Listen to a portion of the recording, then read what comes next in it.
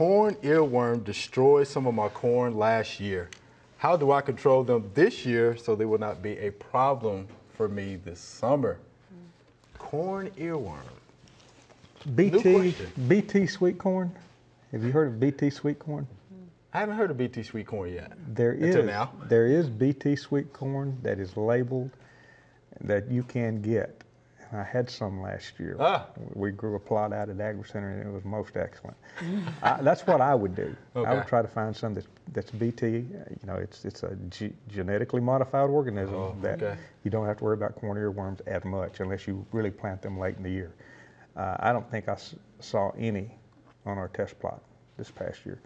Um, but um, you can spray with uh, the pyrethroids, bifenthrin. Uh, uh, is it one of the insecticides that's, that's recommended? But you have to you have to spray uh, regularly. Oh, if you go with a susceptible susceptible uh, you know variety that will get the corn earworm, and you uh, you you can ch- try to choose varieties that have a real tight shuck.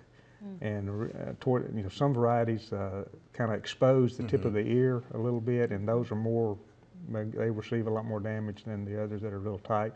But use the insecticide every three to five days, Wow. spraying the Ooh. tips of the of the uh, uh, ear, and uh, you can keep that from happening. Plant early. The earlier you plant, the better off you're going to be. So the earlier you Uh, plant. um, but um, BT, BT sweet corn is is the way to go, in my opinion. There's several varieties that have that technology. It must be good. Look at his grinning. He Yeah. must like that. No, they're have good. to try that next yeah. time. Sounds good. I like corn too. It's, it's good.